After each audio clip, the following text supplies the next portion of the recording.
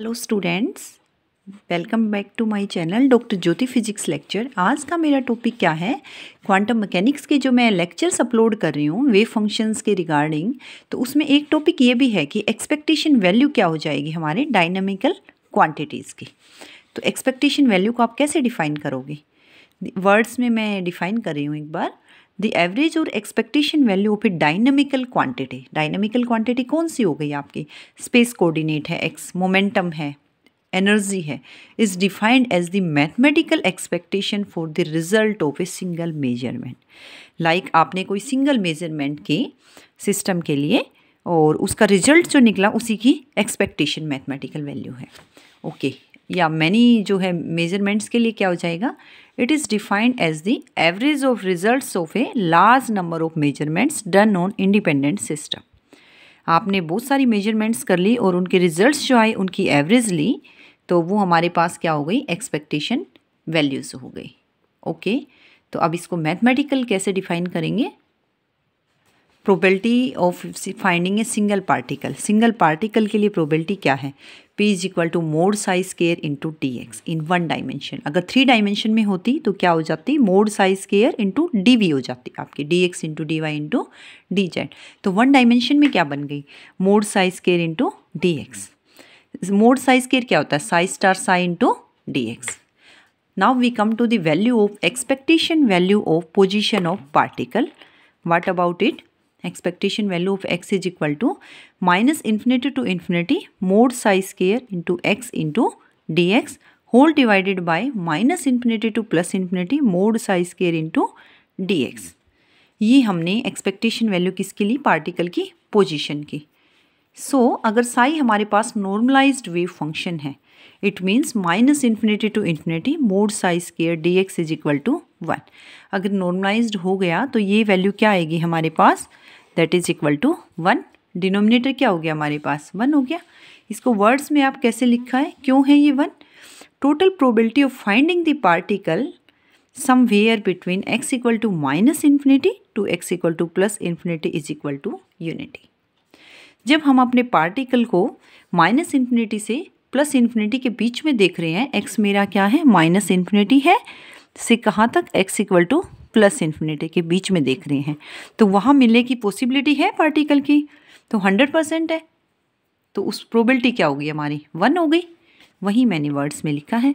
इसी को आप क्या कह रहे हो? नॉर्मलाइज कंडीशन तो आपके पास यहाँ से जो है एक्सपेक्टेशन वैल्यू ऑफ़ एक्स क्या हो गई? ये था फॉर्मूला डिनोमिनेटर में वन हो गया। That is equal to minus infinity to infinity mod psi square x into d x ये हमारे पास क्या आ गई? या इसको आप क्या लिख सकते हो? X into mod psi square into d x these are expectation value of energy sorry expectation value of position x के लिए. Similarly expectation value of potential energy of a particle अगर हमारी पोटेंशियल एनर्जी किसका function है? X का. That is equal to minus infinity to infinity u x mod psi square d x और ये इसको आप क्या बोल सकते हो? We can also see minus infinity to infinity psi star into u x into psi into d x okay the expectation value of momentum of a particle p is equal to minus infinity to plus infinity psi star into p into psi into d x that is equal to minus infinity to infinity psi star the value of p क्या है आपके? अभी मैंने जो है operator का lecture last upload किया है, उसमें क्या है? Minus iota h cross curly by curly x into psi into d x तो ये मोमेंटम ऑपरेटर की वैल्यू होती है that is equal to minus i times cross मेरा आउटसाइड आ गया माइनस इन्फिनिटी से infinity psi star curly psi by curly x into d x this is the expectation value of momentum of a particle okay so हमारे पास हो गया। अब हम इसको थ्री डायमेंशन में लिखना चाहें, वो तो एक पर्टिकुलर एक्स डायमेंशन के लिए था। Psi star p psi into d हो गया डी एक्स की जगह।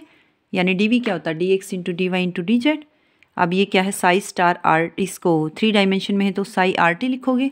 साई स्टार आर टी और minus iota h cross curly by curly x था वन डायमेंशन में। वाई में curly by curly y z में करली बाई करली जेड तीनों को आप जो है कंबाइन करके क्या लिखोगे? Minus iota h cross del into psi into d v we can write it as minus iota h cross को बाहर निकाल माइनस इन्फिनिटी से plus infinity psi star into del into psi into d v this is the expectation value of momentum in three dimension now similarly we have expectation value of energy that is equal to one dimension में देख लिया है इसको भी minus infinity से plus infinity psi star e psi into d x one dimension में. Minus infinity से plus infinity psi star e की वैल्यू क्या होती है? ऑपरेटर की iota h cross curly by curly t into psi into d x यहाँ से क्या आ रहा है? Iota h cross minus infinity से plus infinity psi star curly psi by curly t into d x ये हमारे पास किसकी वैल्यू है? Expectation value of energy of a particle in one dimension okay thanks for hearing me अगर आपकी कोई query है तो आप कमेंट सेक्शन में डाल सकते हैं. Okay okay.